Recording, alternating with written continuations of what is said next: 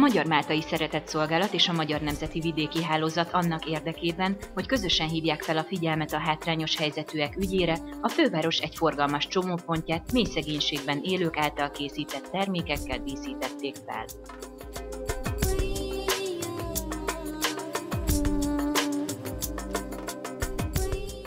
A közös megjelenésre az Élő Népművészet Fórumán a 26. alkalommal megrendezett Mesterségek ünnepén a Budai Várban került sor.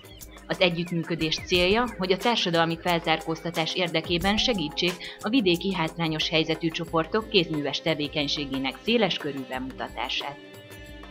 Ha itt végignéznek majd itt a, a soron, akkor ez a nagyon pici kis lehetőség, amit kaptunk, hogy ezeket a kézzel fonott kosarakba ültetett muskátlik milyen szépé tudnak tenni egy sétányt, egy, egy gyönyörű kőfalat, ami egyébként önmagában is gyönyörű, mennyire szépen tudnak bemutatni, de ezer olyan ötletünk lenne egy Balatonparti sétány, egy bicikliút, egy budai rakpart, amit azt gondolom, hogy ezek a kosarak, amik most nem fonódnak meg, mert nincs megrendelés, adott esetben azért nincs megrendelés, mert mondjuk a távol-keletről érkezők kiszorítják őket.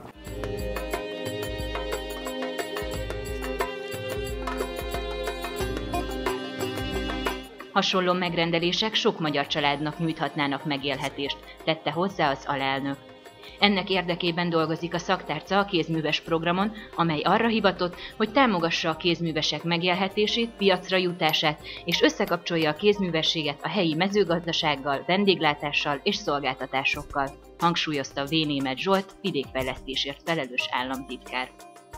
A következő programozási időszakban nem, hogy lehetőség lesz ezeknek a kapcsolódásoknak a megkeresésére, hanem az Európai Uniós eddigi dokumentumok azok elő is írják. Például a vidékfejlesztés terén az egyik legfontosabb prioritás lesz, amely valamennyi programban meg kell, hogy jelenjen, az a kirekesztés elleni küzdelem, a szegénység elleni küzdelem. Ezért keressük a kapcsolódásokat, így például a Máltai Szeretett Szolgálattal is, akár a program megalkotásához.